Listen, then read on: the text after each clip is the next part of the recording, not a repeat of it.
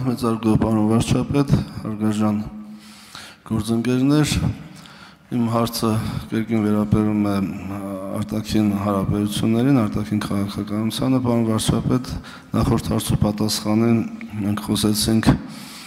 BRICS-ի գագաթաժողովին ձեր սպասվելիք մասնակցությունից, ակնկալիքներից, սպասելիքներից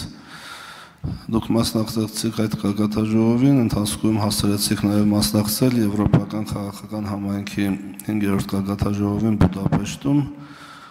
որը հետաքրիր նաև զրույցի մեր թեման էր՝ բալանսավորման, հավասարակշռման քաղաքականության դրսևորում Ես ուզում եմ մեր հանրության եւ խորհրդանի համար հնարավոր սահմաններում խոսեք ինչ սպասելիքներ, ակնկալիքներ արդարացան այդ կգաթաժողովից, ձեր հանդիպումներից, առավել եւս որ բազմաթիվ հանդիպումներ ունեցաք բազմաթիվ առաջնորդների հետ,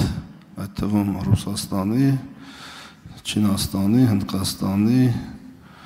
Դա բարձ Ադրբեջանի ղեկավարի հետ, նույնիսկ կարճ զրույց Բելարուսի նախագահի հետ։ Ինչպիսին են ձեր տպավորությունները։ Շնորհակալություն։ Շնորհակալ եմ, պարոն Թորոսյան, հարցի համար։ Նախ BRICS-ի գագաթաժողովին մասնակցելը համարում եմ շատ կարևոր եւ արդյունավետ, որովհետեւ դուք արդեն նշեցիք, իհարկե այնտեղի շփումները մի մասը լուսաբանվում է, մի մասը չի լուսաբանվում, սովորաբար նման միջոցառումներում շրփումների շրջանակը շատ ավելի լայն է, բայց ուզում եմ գոհունակությունս արտահայտել Ադրբեջանի նախագահի հետ իմ իմ եւ հետա ընդլայնված կազմով շփումների վերաբերյալ ես մի քիչ կարող եմ տարօրինակ հնչել նույնիսկ, որ այդքան երկար խոսակցություն կամ վաղուց կամ ընդհանրապես չենք ունեցել, ընդ որում մենք զգում ենք գոնե ես որ մի փոքր կոռեկտության խնդիր կա, որովհետև մյուս լիդերները ելույթ են ունենում, մենք այդ ընթացքում մտքեր ենք փոխանակում, բայց շատ կարևոր զրույց տեղի ունեցավ եւ եւ քանի որ հարցը տվել եք, ես էլ սամբյոն եմ բարձացել, դուք էլ ասացիք հնարավոր սահմաններում ասեմ ինչի մասին է եղել խոսակցությունը, ես հիմա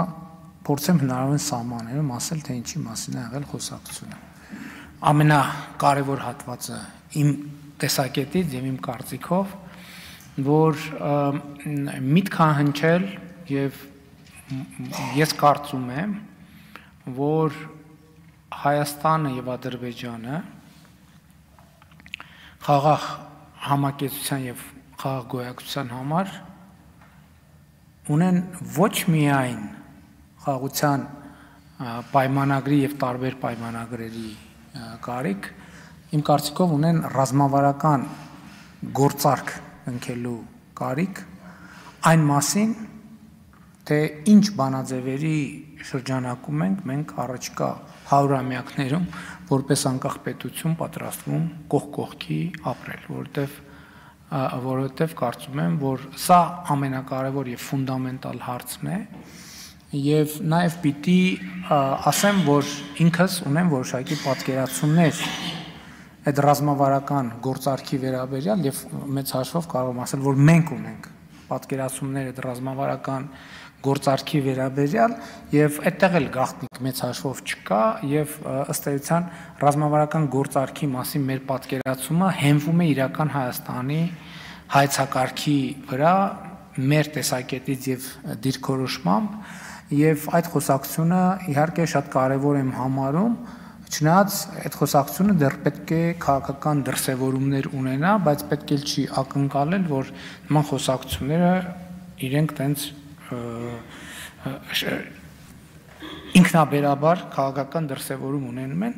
բայց եթե արձագանքեք, ես կարծում եմ մյուս ոչ պակաս կարևոր տեղեկատվությունն էլ կարողանամ կիսել ձեզ հետ։ Շարունակեք, պարոն Վարչապետ։ Ես կարծում եմ, որ իհարկե որ այն որ մենք մոտ ենք խաղաղության պայմանագրի տեքստի համաձայնեցման արտաքին գործերի նախարար ասեց։ Դուք գիտեք, որ սահմանազատման հետ կապված process-ները ըստ էության արդեն ամբողջությամբ բաց են եւ թափանցիկ։ Կազանում տեղի ունեցած կարևորագույն հաջորդ իրադարձությունն այն էր, որ շատ նման է նրան, որ մենք տարածաշրջանային կոմունիկացիաների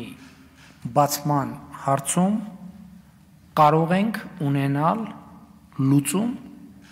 որը ըստ էության կարող է հասցեագրել եւ փոխադարձ եւ լիարժեքորեն լինել ընդունելի։ Եվ մենք այս առաջարկը ըստ էության արդեն նաև գրավոր ձևով փոխանցել ենք Ադրբեջանին եւ ասեմ նաև որ մենք խաղաղության պայմանագրի երկու հոդվածների մնացած երկու հոդվածների վերաբերյալ մեր առաջարկները, եթե չեմ սխալվում, 3 կամ նախորդ օրը, երկուշաբթի օրը փոխանցել ենք Ադրբեջանին։ Շնորհակալ եմ։ Մնացած շփումների կարևոր շփումների մասին չհասցրեցի։ Կներեք մի ուրիշ առիթով։